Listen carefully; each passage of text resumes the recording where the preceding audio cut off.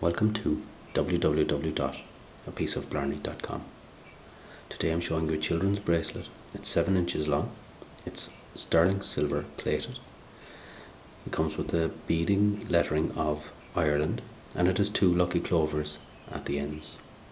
And it can be yours for $15 on www.apieceofblarney.com.